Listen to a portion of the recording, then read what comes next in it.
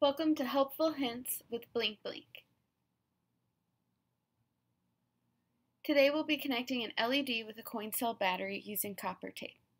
Put your LED down on a piece of paper and peel your first piece of copper tape. Make sure it doesn't wrinkle.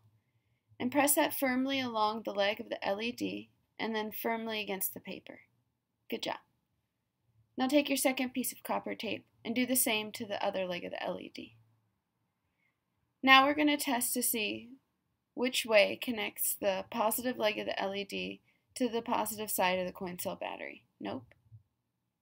Yep. Peel your third piece of copper tape. Connect it to one of your legs and press it almost all the way down. And we're going to take our last piece of copper tape and affix it to this third piece so that you have a double-sided piece of tape that doesn't stick to the coin cell battery when you push it. This will allow you to make a switch that you can turn your LED on and off with.